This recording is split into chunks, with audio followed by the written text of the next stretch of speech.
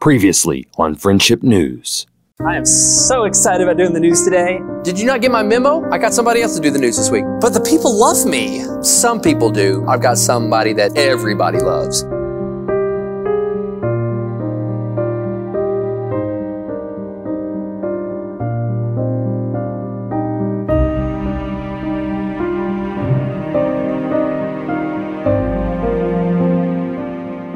Hey, Taryn, have you seen Barton? No, is he okay? I don't know. It's news day. I'm a little worried about him. Find him. Barton! Barton! Barton! Barton! Barton! Barton! Barton! Barton! Barton! Barton! Barton! Wait, that door's open. Barton!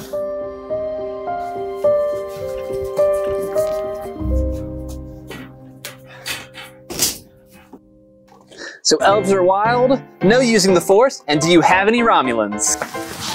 Hey, guys, Oh, hey Kirk. What's up? What's up? deal me in. Barton, you okay? Yeah, I'm fine. Why do you ask? Look, man, it's news day. I just wanted to make sure you're okay after everything that happened last week. I know that John said that not everyone loves me, They don't. but he's wrong. Everyone loves me. Well, I just wanted to make sure you're okay and that you're fine with today's situation. Yeah, I'm great. I can't wait to do the news today. What? You didn't tell him again? Seriously, John David, you didn't tell him again? You can't have nothing. Tell him what? Good morning. I'm Kirk, and this is your friendship news for Sunday, January 20th.